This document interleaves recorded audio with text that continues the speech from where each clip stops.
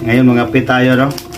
Ang ah, maraming salamat pala sa nagbigay nito no si Ma'am Doki. Maraming salamat Ma'am Doki sa coffee ninyo from Mitsko. Tikman natin yung mga ano mga coffee na mga creamy pala to siya. Hindi kasi ako sanay sa mga coffee na mga hindi imported. Ah, Charis! Sound. Charis! Joke lang Ma'am Doki ah. Gusto lang akong tumikim sa mga imported na mga ano eh.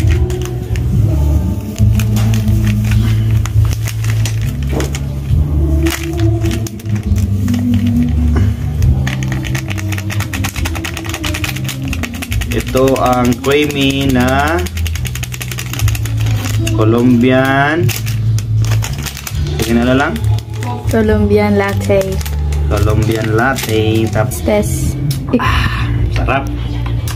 Sobrang sarap. Maraming salamat ulit sa nagbigay. No? Si Ma'am Doki. Okay hirap?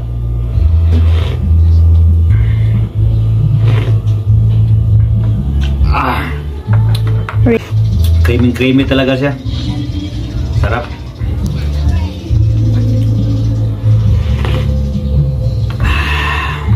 Okay na. Tara, kape muna tayo, no? Yan lang, natikman ko na. Maraming salamat.